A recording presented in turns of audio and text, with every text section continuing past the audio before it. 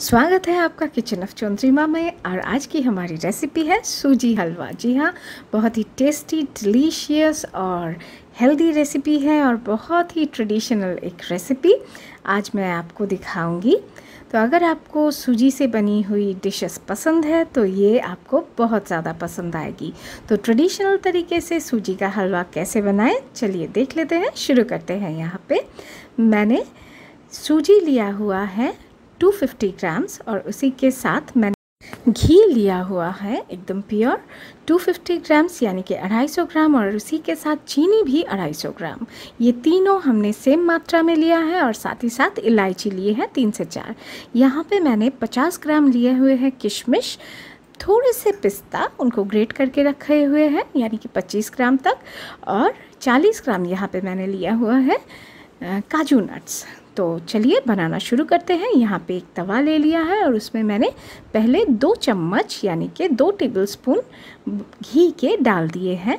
अभी इसके ऊपर हम धीरे धीरे करके हमारे जो पूरे ड्राई फ्रूट्स हैं तो पहले काजू को डाल लेते हैं और उनको अच्छे से हल्का सा फ्राई करेंगे और उसी के साथ साथ हम यहाँ पे पिस्ता को भी डालेंगे और अब देख सकते हैं धीरे धीरे हम यहाँ पे पिस्ते को डाल रहे हैं। तो आप कभी भी अगर ड्राई फ्रूट्स फ्राई कर रहे हैं तो फ्लेम को आप मीडियम से बहुत ज़्यादा लो पे रखें, नहीं तो ये बहुत ज़्यादा जल्दी जल जाते हैं। तो वो टेस्ट में अच्छे नहीं होते और अंदर तक फ्राई भी नहीं होते, यानी कि क्रिस्प नहीं होते। तो इसी के साथ यहाँ पे हम डाल रहे हैं किशमिश। अभी सारे ड्राई फ्रूट्स हमने डाल दिए हैं। अगर आपको कुछ इसमें से पसंद नहीं है तो आप ना डालें। और कुछ अगर और पसंद है तो वो भी डाल सकते हैं। ये बिल्कुल आपके पसंद के ऊपर डिपेंड करता है।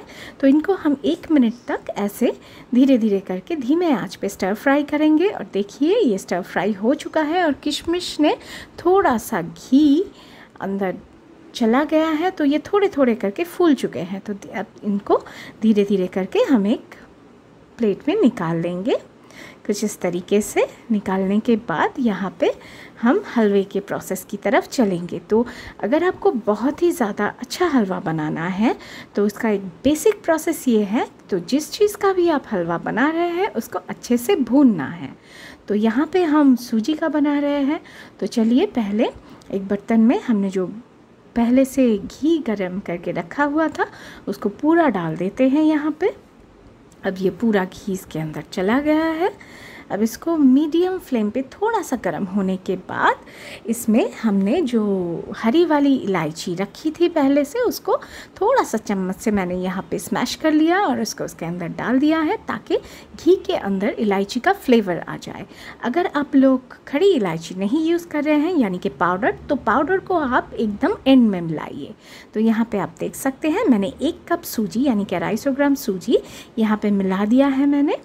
अब इसमें थोड़े से बबल्स आ रहे हैं, क्योंकि सूजी के अंदर एक मॉइस्चर होता है और मॉइस्चर जब तेल के अंदर जाता है तो थोड़े से बबल्स इसमें क्रिएट हो जाते हैं। तो देखिए, अभी पूरा जो घी है, वो सूजी के अंदर चला गया है। अब वो धीरे धीरे हम इसे फ्राई करेंगे। इसको हमें मीडियम टू लो फ्लेम पे ही करना है, वरना सूजी जो है वो जल सकती है। मीडियम टू लो फ्लेम पे तकरीबन पाँच से सात मिनट तक हमें इसे फ्राई करना है ताकि इसका कलर थोड़ा सा गोल्डन ब्राउन की तरफ़ आ जाए। अगर हम इसको इसको कॉन्स्टेंटली स्टेयर करते रहना चाहिए, क्योंकि अगर हम छोड़ देंगे तो नीचे से ये जल जाएगा। तो कॉन्स्टेंटली इसे देखिए स्टेयर करते हुए इसका कलर पूरी तरीके से ब्राउनिश की तरफ़ आ चुका है। अभी इसके अंदर हम तीन कप पानी डालेंगे। जी हाँ रेशियो आप समझ सकते हैं। एक कप अगर आप सूजी ले रहे हैं तो उसके साथ तीन कप आपको पानी लेना है। तो यहाँ पे मैंने तीन कप पानी ऐसे धीरे धीरे करके डाल दिया है और पानी डालने के बाद इसको उबाल आने तक हमें मिलाना है ताकि इसके अंदर का जो सूजी जब हम फ्राई करने के बाद पानी डालेंगे तो थोड़ा सा लम्स इसके अंदर क्रिएट हो जाता है। तो इसको अच्छे से हम मिला देंगे ताकि ये बराबर से कुकड हो जाए। तो इसको दो तीन मिनट के बाद आप देखेंगे पूरा जो पानी है वो सूजी सोख कर लेगा और 90 परसेंट ये कुक भी हो जाएगा। क्योंकि ये पहले से भी हमने फ्राई किया हुआ है। आप देख सकते हैं, तीन से चार मिनट हो चुके हैं और पानी जो है, वो सूजी ने सोख कर लिया है और ये क्वांटिटी में डबल से ज़्यादा हो चुका है। बहुत ही फूल चुका है और ये काफ़ी हद तक कुकड भी हो चुका है। तो इसको हम अच्छे से स्टर करते रहेंगे ताकि निचला जो पोर्शन है, वो तवे से चिपक ना जाए। अभी इसके अंदर हम डालेंगे चीनी। चीनी भी हमने एकदम बराबर मात्रा में लिया हुआ था, वो भी पूरी तरीके से इसमें मिला देंगे। इसमें आप चीनी का ही इस्तेमाल कीजिए और चीनी मिलाने के बाद आप देख सकते हैं ये थोड़ा सा पतला होगा, क्योंकि चीनी भी कैरामलाइज हो जाएगी और जब चीनी गलना शुरू हो जाएगा तो ये थोड़ा पतला होगा। तो ये पतला होने के बाद भी इसे हम आँच को धीमा ही रखते हुए इसे हमें धीरे धीरे करके मिलाते जाना है ताकि पूरा सूजी के अंदर जो मिठास है वो अच्छे से फैल जाए।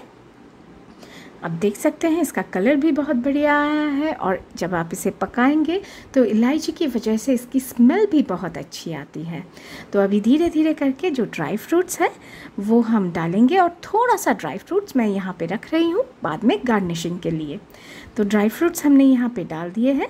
अभी इन सभी चीज़ों को हम एक साथ मिला देंगे। इसको लास्ट में इसलिए डाला क्योंकि ड्राई फ्रूट्स को हमने फ्राई किया हुआ था और उसके अंदर का जो क्रंचीनेस है, वो ख़राब ना हो जाए, इसीलिए इसको हम लास्ट में मिलाएँगे। तो इसको चलिए, एक से डेढ़ मिनट तक मिलाने के बाद हमारा जो सूजी का हलवा है, वो एकदम अच्छे से बन चुका है। एकदम बन के रेडी है ये हलवा।